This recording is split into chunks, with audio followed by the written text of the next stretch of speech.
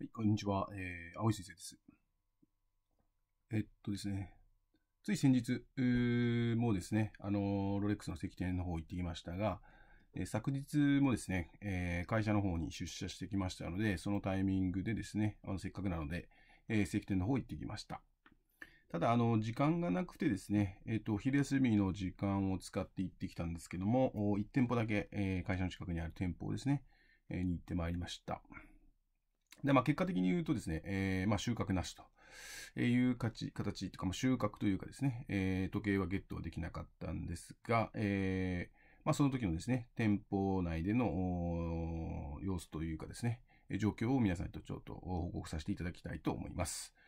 えっ、ー、と、またですね、あのー、この、私の対応とか会話とかですね、お客さん、あの、すみません。で、店員さんとの、の対応とか態度とかもですね、もし何か気になる点とか、もしございましたらアドバイスとかいただけますと幸いです。はい。えー、ということでですね、あのー、実際店舗に伺ったのが、お昼休みでご飯を食べる前に行こうと思ってですね、12時ちょい過ぎぐらいですかね、に行きました。で、お店に入ると、お客さんはですね、えっと、一人、一人いらっしゃったか、もう一組いらっしゃったかっていう形で、まあ、二、二人ぐらいいらっしゃったような気がします。で、一人の方はですね、結構、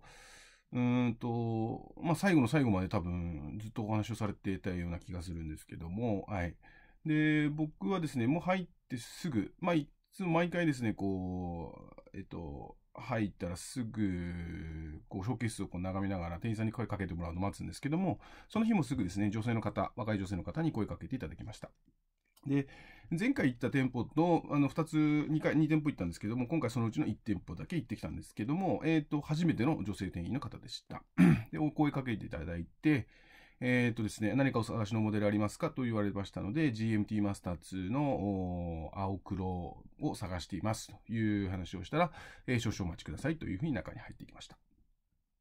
はい。で、まあもうすぐ戻られてですね、あの、大変申し訳ありませんけども、在庫ございませんでしたということで、ああ、そうですか、わかりました。じゃあまた、えー、来ますという形だったんですが、まあ、もう賞味ね、1、2分ぐらいのやりとりだったので、まあ、お昼ご飯をちょっと食べる前に、まあ少し店内ちょっと歩いてね、あの見て回って最後帰ろうかなと思ってですね。まあもう店員さんもあのさっと、えっ、ー、と、じゃあ失礼しますとか言ってですね、一人になって店内を歩いてたら、まあ、先ほどの、えー、同じ女性の店員の方がですね、あの、にお声をかけていただいてですね、えっと、何か他にご用はございますか？って言われましたので、いやいや、特にあの、なくて、今ちょっと昼休みで時間があるので、ちょっとショーケースだけ見て、すみません、あの、帰りますので、ってお気になさらずに、って話をしていたらですね、で、まあ、ちょうど多分僕がメガネかマスクかをこう触った瞬間だと思うんですけど、時計が見えたようで、あの、えっ、と、ロレックスの時計を触れてるんですかって話だったので、あ、そうなんですということで、まあ、ちょっとここに映ってないですけど、えっ、と、デートジャストの、えー、父からもらったですね、時計をつけておりまして、えー、まあ、それでそこからですね、まあ、少し話になりました。で、他に何かも持たれてるんですか？っていうことだったので、まあ、ここに映ってるですね、あの、エアキングとかをですね、中古で買ったりとか、えー、この6694ってやつも買ったんですね、って中古でということで、新品とかは石器で今まで買ったことがなかったんです、とかっていう話をしていて、で、あとなんかその、気になったのか、まあ、革ベルトのことを気にされてて、で、革ベルトつけられてるんですね、って話をしていて、あ、そうなんですと。あの、仕事で、で、パソコンずっと触ってるので、あの、傷ついちゃうので、ちょっとカーベルト全部つけちゃうんですって話をしていたら、あ、そうなんですねって話をしていて、まあ、カーベルトの話で、まあ、結構盛り上がったんですけども、まあ、僕ちょっともうお昼食べないといけないと思ってですね、えっ、ー、と、そのまま、それで、あ、じゃあまた、あの、お伺いしますということで、えー、店を出たと。えいう形になります。はい。ということでですね、まあ、あの、あっけない、まあね、えっ、ー、と、で、えっ、ー、と、ロレックスマラソンだったんですけども、そうですね、あの、や、今、えっ、ー、と、今日3回目、3日目というかですね、3日目で、店舗は、まあ、初日に3店舗、前回2店舗、で、今回初めて、えー、1店舗ということで、まあ、合計今6店舗、まあ、重複ありますけど、えー、回ってですね、そのうち、えっ、と、まあ、3回ですかね。は、あの、大体、まあ、ロレックス、毎回今日もロレックスをつけていってるんですけども、ロレックスをされてるんですか？とか、何個持ってらっしゃるんですか？っていうのを、まあ、あまあ、半分ですね、聞かれたという経験があります。